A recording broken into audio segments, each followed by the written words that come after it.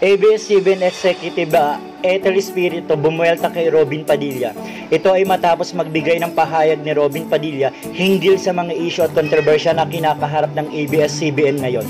Ngunit hindi nagpatinag si Robin Padilla sa ABS-CBN Executive at niresbakan din ito. Nagsimula lang ito na mag-post si Robin Padilla sa kanyang Facebook kung saan hinahamon nito ang mga sikat na artista ng GMA at ABS-CBN na sumusuporta raw sa franchise ng renewal ng ABS-CBN na ilantad raw nila ang kanilang kontrata at ikumpara raw ito sa mga ordinaryong empleyado para magkaalaman na raw.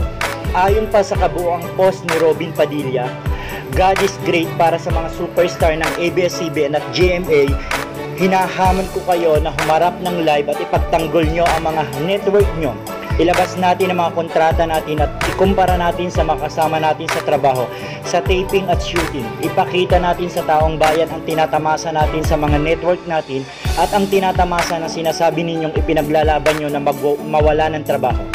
Gusto nyo pala ng naitama ang mali. Abay umpisahan natin. Una, pag-usapan muna natin ang tamang sweldo benepisyo at tamang oras ng trabaho ng mga kasama natin sa taping at shooting bago nyo ipaglaban ang karapatan ng kumpanya. Unahin nyo yung tao ng kumpanya na kasama ninyo sa bawat araw sa location at wag nyo proteksyonan lang ang regular employees. Paano yung mga hindi regular? Yung mga tao sa tent nyo at portalen. Buwan hanggang taon nakasama ninyo depende sa haba ng show nyo. Natanong nyo man lang ba kung sin subcontract ba sila ng regular employee ng ABS-CBN at kung may overtime ba? Sila, ilan ang labor at subcontract ng regular employees ng ABS-CBN? Sino-sino? Yung pagkain, parehas ba kayo ng kinakain ng mga crew? Tama ba ang sustansya? Ipaglaban ninyo ang agreement ng DOLE at ng FDCP sa mga network nyo at kapag nakuha nyo yon para sa mga taong nagpapakihirap talaga nakasama ninyo kahit umulan o umaraw, magpuyatan man o hindi, tsaka ninyo ipaglaban sinasabi ninyong karapatan ng isang multi-billion na kumpanya. I am not against ABS-CBN franchise, but we have to be real. This is the only chance na kayo ang maging daan para mabago ang takbo ng working state nating lahat sa entertainment industry. Magpagamit muna kayo sa, ma sa mahihirap sa mga taong nagdala sa inyo sa kasikatan bago sa mayayaman. I am for ABS-CBN renewal pero include the agreement of Chairwoman Liza Dino and Secretary Silvestre Bello in their mission and vision, una muna tayo magserbisyo sa mga tao natin sa loob natin, sa bakura natin, bago tayo mangapit bahay. Anytime, ako, anywhere, ilabas natin ang mga contract natin. Let's at compare our salaries to our kapamilya co-workers at isama ninyo ang mga kapuso at mga kapatid. Magpalabasan tayo para makita ng publiko. Let at this date na total mag napakadrama ninyo. Gawin na nating teleserye, punuin natin ng revelation ng issue at ito ang dapat pinag-uusapan sa Korte at Congress. Hindi lahat ng mundo ay showbiz at politics. One way of the revolution of the peoples has to be realized. Ito ang mahabang pahayag ni Robin Padilla tungkol sa mga issue at kontrobersya na kinahaharap ng ABS-CBN at pahayag ni Robin Padilla sa mga artista na nagdadrama sa social media para magbigay ng suporta sa ABS-CBN para sa franchise renewal. Ngunit kaugnay nito ay nakarating na ito sa isa sa executive ng ABS-CBN na si Ethel Espiritu. Kaya naman may buwelta ito kay Robin Padilla. Sa Twitter nito ay nagbigay ng pahayag ng Executive ABS-CBN na si Ethel Espiritu laban kay Robin Padilla na tila hindi nagustuhan ang mga pinagsasabi nito ni Robin Padilla. Ayon pa dito, Angel said best said it, think before you click.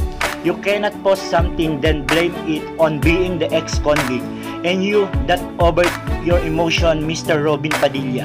It's either pinanindigan mo, misplaced emotion mo o never post at all. Ganito na lang, mahabang panahon ka din nagtrabaho sa ABS-CBN, kasama ang asawa mo, kapatid mo, mga pamangkin mo at ang tinatawag namin ng kamag-anak ko. Sa haba ng panahon na yon, if minapansin ka palang mali sa pamamalakad, especially sa mga trabahador, sana nun mo pa pinaglaban. Isa pa, kontrata pala hamon mo, napakalaki ng per taping day sahod mo. Kung talagang makabayan ka at makatao ka, eh di dapat pala shinare mo sa kanila ang blessings mo. Lahat ng issues mo. Dapat pala nun mo pa pinaglaban. Saan ka nun? Sino ang presidente nun? Ah, okay, noted. Sunod-sunod ang naging pahayag ng executive ng ABS-CBN na si Ethel Espirito laban kay Robin Padilla.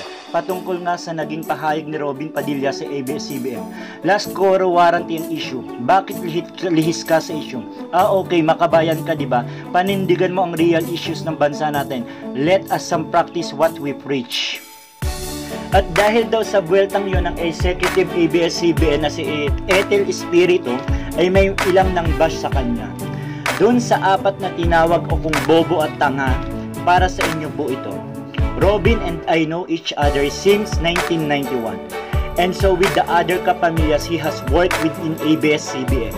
Madami siyang shows na ginawa. We always welcome him. We consider him family. Dagdag pa niya.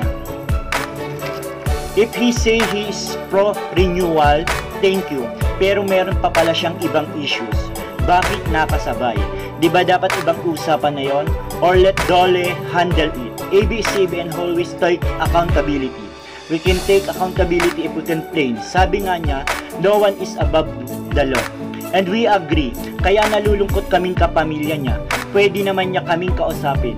Madami siyang kaibigan sa amin kahit magkakaibigan kami ng pinaniniwalaan at pinaninindigan sa buhay. Yun lang, hindi ako bobo at hindi din ako tanga kahit tanungin nyo pa kay Robin Padilla. Ito nga ang naging buwelta ng ABS-CBN Executive Ethel Espirito laban sa pahayag ni Robin Padilla tungkol sa isyong kinakaharap ngayon ng ABS-CBN. Ngunit nakarating naman kay Robin Padilla ang buwelta na ito ng ABS-CBN at hindi nagpatinag si Robin Padilla kaya niresbakan niya ito sa Instagram. Dito, ay niresbakan ni Robin Padilla ang Executive ABS-CBN na si Ethel Espirito. Ipinos ni Robin Padilla ang screenshot ng balita tungkol sa naging sagot sa kanya ng Executive ABS-CBN na si Ethel Espirito sa kanyang pinagsasabi tungkol sa ABS-CBN at nilagyan ito ni Robin Padilla ng mahabang caption na God is great.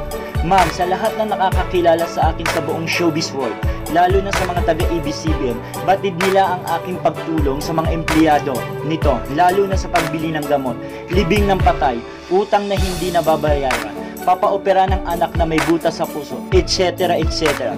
Ma'am Ethel, pakitanong mo sa set ng sana dalawa ang puso ko kung sino ang kausap ko sa tent patungkol sa working condition ng non-regular employees ng ABS-CBN. Walang iba kundi si Ma'am Gina Lopez.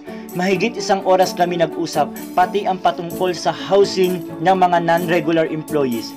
At sa iyo, Ma'am Rocky Ubana, Batid ba ng mga boss mo sa ABS-CBN na ikaw mismo sa panahon ay subcontractor ng tent?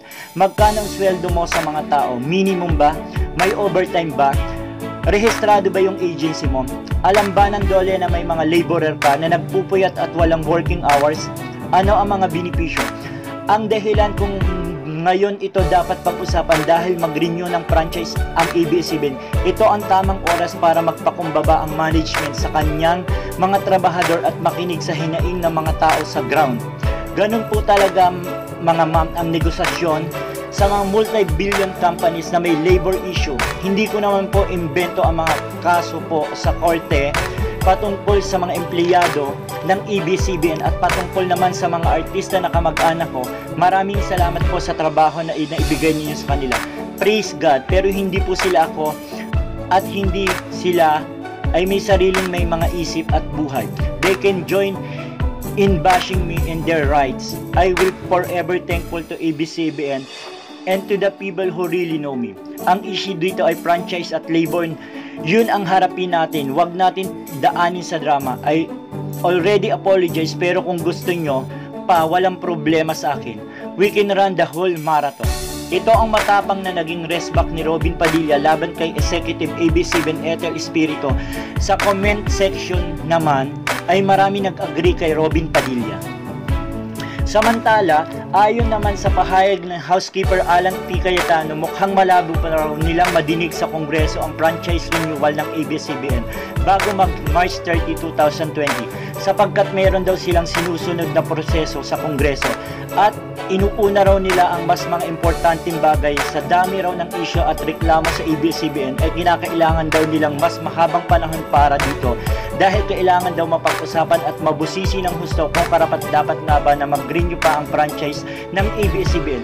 Pero ayon pa rin kay House Speaker Alan P. Cayetano, maaari pa din magpatuloy ang pag-operate ng AB7 hanggang March 20, 2022 habang dinidinig pa ng Kongreso ang mga panukalang isinumiti na sa Kongreso para sa franchise renewal ng AB7. So ayan mga kabatak, anong masasabi nyo sa pahayag ni Robin Padilla tungkol sa AB7 at sa buwelta sa kanya ng Executive AB7 na si Ethel Espiritu? Sino ang papanigan nyo? Huwag kang magkalimutan mag-comment sa ibaba. At syempre, gaya po ng lagi kong sinasabi kung ikaw ay bago at napadaan lang dito sa aking channel, ay huwag mo nang kalimutang batakin yung subscribe button kasabay na rin po ng pagbatak ng bell notification para lagi po kong updated sa lahat ng issues na i-upload ko. Bye-bye!